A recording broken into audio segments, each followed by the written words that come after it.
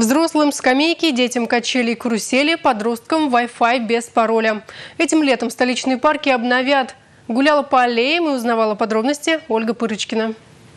Пора по паркам. Чем жарче становится на улице, тем меньше свободных мест на лавочках в тени аллей. Все три основных парка столицы Чувашии – Лакреевский лес, парки Николаева и 500-летие – этим летом преобразятся. С вопросом, чего вам не хватает в городских парках сейчас, чтобы вы добавили, мы обратились к гуляющим. Бесплатных аттракционов для и детей, которые до двух лет или два года, потому что очень много аттракционов, которые уже такие для больших детей. Можно было побольше цветочков, ну, аттракционов, по-моему, достаточно. Ну, если только скамеек, где можно отдохнуть. Можно бесплатных каруселей какие-нибудь, то все очень дорого. Бассейна, там, где купаться, ну, еще, ну, вроде все есть. А, а тебе Площадку там, все убрали, мои любимые эти аттракционы.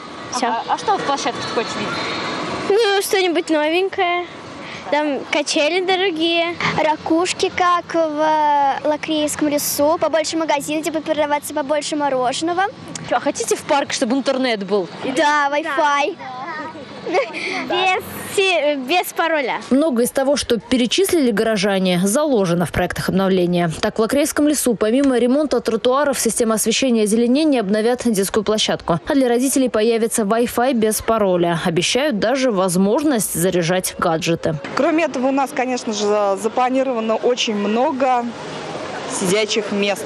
Мы э, заказываем в едином стиле скамейки. Они будут у нас располагаться вдоль центральной аллеи. Около центральной сценической площадки тоже предусмотрено э, многофункциональный, многоуровневый комплекс скамеек, где можно будет и полежать, и посидеть, и посмотреть, и компаниями. И э, кроме этого, эти скамейки будут мобильные, из них можно будет складывать, например, слово Чебоксары. По словам директора управления жилищно-коммунального хозяйства и благоустройства, на работы по их части в этом парке потребуется порядка пяти с половиной миллионов рублей. По парку Николаева, который также ждут обновления, эстрада, озеленение, малой архитектурной формы, сумму еще не определили. Это, а, наверное, свойственно всем городам, когда город разрастается, а у нас в Чебоксарах с вами строится 15 микрорайонов только на данный момент. Конечно, каменные джунгли начинают да, создавать определенную ну, стрессовую ситуацию для людей, и поэтому парки – это та, та, то самое значимое, что мы обязаны сохранить. На протяжении достаточно долгого периода парк Лакреевский лес не получал бюджетного финансирования в принципе, так же как парк 500-летия, потому что это были это учреждения, которые всегда зарабатывали сами.